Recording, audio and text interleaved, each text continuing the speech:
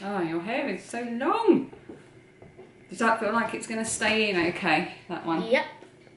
Good morning. It is about, I haven't got my watch on, but I think it's about, it's just coming up for 11 o'clock in the morning. I've had a really busy morning today. It's Thursday, so I'm not working. Been running around parceling up some orders and very excitingly, I've just got back from the shops where I had to go and pick up um, part of Dan's birthday present because it's his birthday later this month to discover that I have had an exciting delivery, which I will show you in a minute. It is incredibly windy today. It was windy yesterday and it was a really windy overnight. And then at about quarter to six this morning, oh my goodness, it sounded like the house was going to blow away. And I've consulted my trusty almanac. Um, you've seen me mention this before. I get this every year. This is the third year that I've bought this almanac.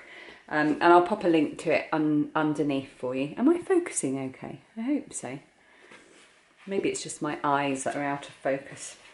And it tells me, it says uh, that it is the month of the winds and that March is blustery and blowy, the cheery daffodils are battered and the tree branches with their new buds are being swished to and fro.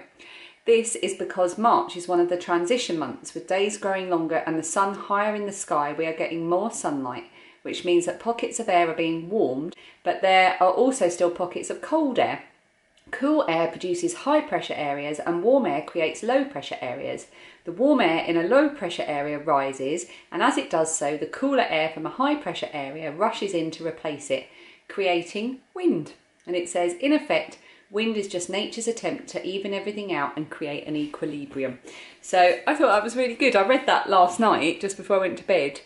So when I went to bed, sort of listening to the howling wind outside and coming down the chimney, um, I could think about nature doing its thing. Everything is as it should be, which was really nice. This is why I like the almanac so much. I learned such a lot from it. Um, so I've been running around all morning getting stuff done and now I'm going to sit down for a bit. Dan and I are going to try and dismantle another wardrobe later today but he's in a meeting till about midday so we won't do it till then. So I'm going to do a bit more crocheting um, on Lilia's birthday little amigurumi jester that I'm making her and just sit and have something to drink and just try to relax. I have a tendency when I've got time away from the kids now they're back at school to try and fill that time with as much stuff get stuff done as possible. Especially as at the moment, obviously, there is a lot of stuff to get done because we're dismantling the entire bedroom and so on. Uh, but I'm going to try and avoid that and sit down and take a little bit of time today and go against all my instincts. and I'm, I want to show you what just arrived in the post as well. It is my latest pin order. Let's get one out to show you. Hold on. So I um, I'd ordered a new type of pin they are smooth, so they're not raised like the original one. Don't know if you can see, because they have an epoxy coating over the top of them, which kind of smooths them out and changes the look of them. I still sell my other version as well, so there's both options available in the shop. Well, not yet, because at the moment there's only the the raised version without the epoxy coating because I'd sold out of these ones because they were really, really popular. So I've ordered a big batch. I've ordered, I think, three or 400 of these. So there's going to be tons of them in stock. Uh, but first I need to get them all onto, I put them on backing cards by hand and they've got information on the back and, I, you know, I present them nicely. So I'm going to get a big batch of those done. Hopefully Phoebe will help me. And then I should be able to get these listed maybe tomorrow or Saturday. So keep an eye out if you're interested or if you're one of the people that have been waiting, eagerly waiting for one of our... State of my nails, I need to repaint them. If you've been eagerly awaiting one of these smooth pins. I'm so excited to go through them. I do have to go through them as well because there'll always be some that aren't perfect. So I have to go through all three or four hundred of them and quality check each one. so, but it's fun. I don't mind.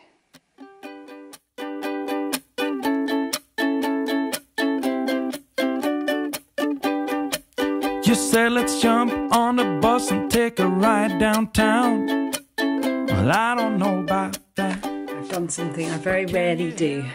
A bit of ironing. I very rarely do ironing. And when there is ironing to be done, it's usually Dan that does it.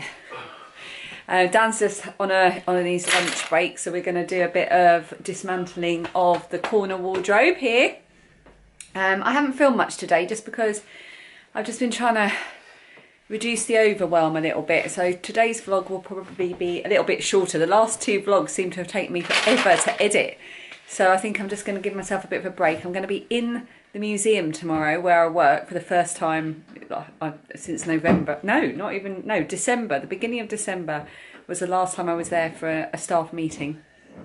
Um, so it'd be really uh, exciting to get out of the house, but I want to make sure I am well rested and ready. Not that well rested, I'm about to dismantle a wardrobe.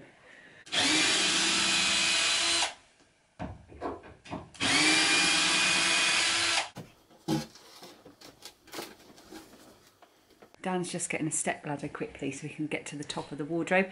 And a few people had asked how I got on with the creams I showed. I think it was right back in January I showed these. I bought some foot care creams because I was trying to look after my feet because I was diagnosed with Raynaud's syndrome, my poor feet. So I was trying to be extra nice to them. And I got this CCS Swedish foot care cream, which I've been using every night. I just got these in Boots, the chemist here in the UK and I've really really liked this it's done it's been brilliant for dry skin and stuff like that my feet are very very soft and then if I've just got out the bath um, or if it's a bit earlier in the evening like when we get in to have a read with Phoebe before she goes to bed I use the Boots Own mint lavender and marshmallow foot cream. And that's been lovely as well. The only thing is because it's quite focus there we go because it's quite highly scented and it's I mean it's a nice smell it smells really lovely. I don't like putting on last thing at night. I'm quite sensitive to smells and things and I everything I use at night apart from my face cream which has got essential oils in it um, is completely unscented so um, I think this would bother me too much at night but I do use it earlier on and again it's absolutely lovely it feels very luxurious especially after a bath and it's really lovely and moisturising so I really like that as well and I've also been using the Ordinary Caffeine Solution. This one. Hold it up so you can see the one um, uh, see all the details. So this is designed for under the eyes to help reduce dark circles, which I have naturally, it's genetics. So I'm probably kidding myself a bit to think that a cream is gonna help uh, battle genetics. But it's really, really lovely. I've been using it every evening. It's really easy to put on and I do I, I, like it. I feel like it has made a slight difference, even if that might just be my imagination. So I, I've got on really well with all of those lotions and potions. Thanks for asking.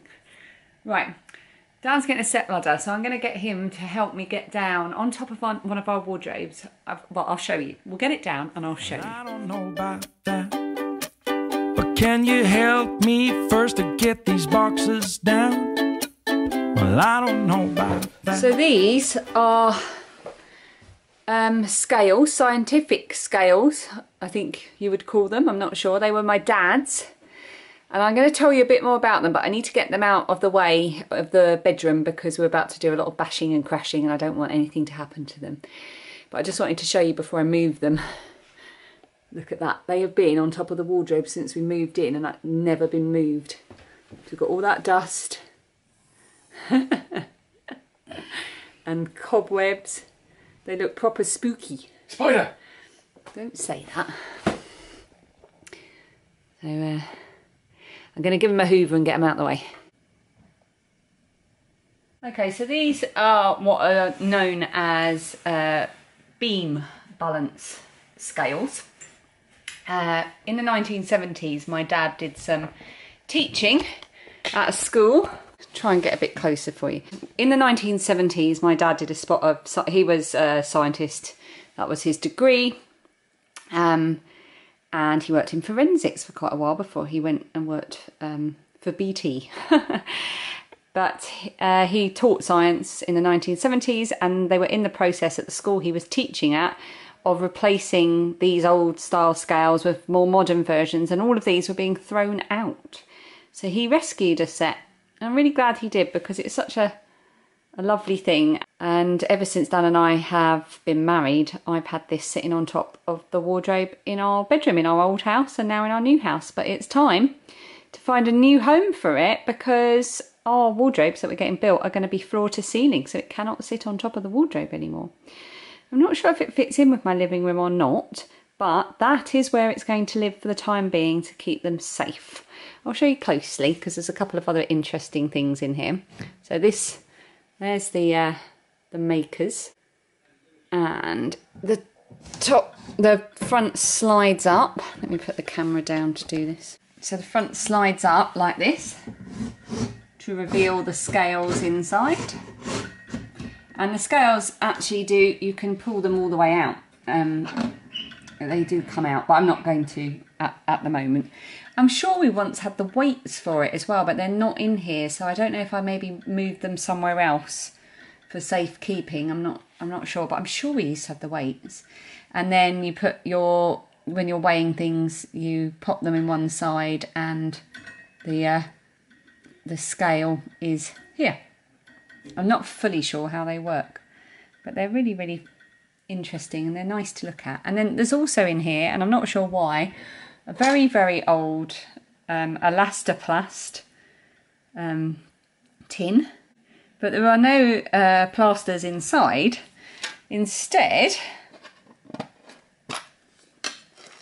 take them out.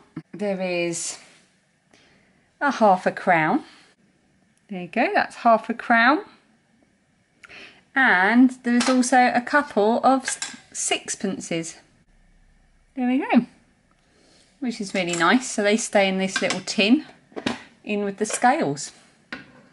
So let's find it a new home in the living room temporarily.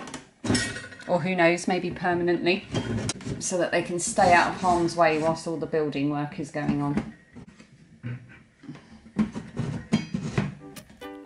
Have the whole day now just to ourselves so we can clean the house or clear out some shelves. You said whichever you feel like doing first. I said, well, I don't know about that. Cause it's my lazy day, just wanna lazy away. Ain't gonna do a thing for the rest of the day. You can try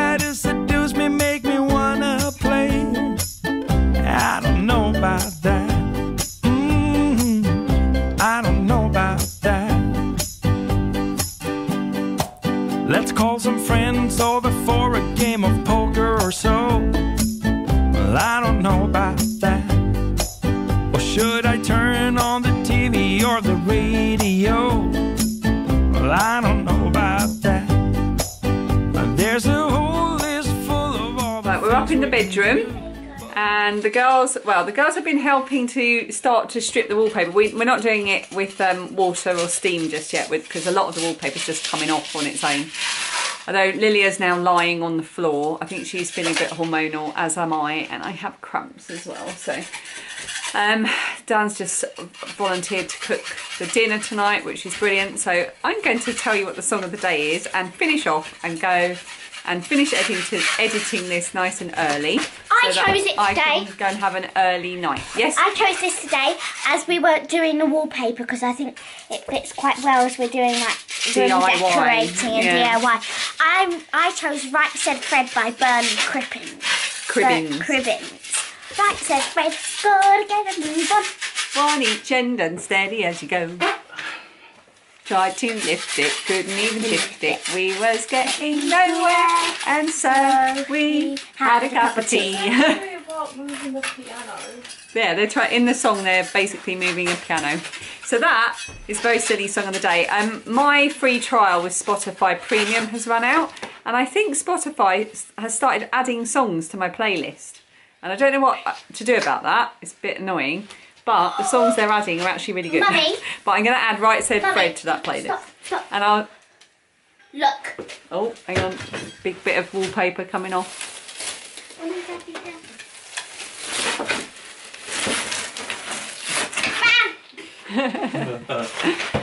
And on that very satisfying note, it's time to say goodbye. I'll see you tomorrow. Have a lovely, relaxing evening. Bye bye. Bye! Bye. Woo!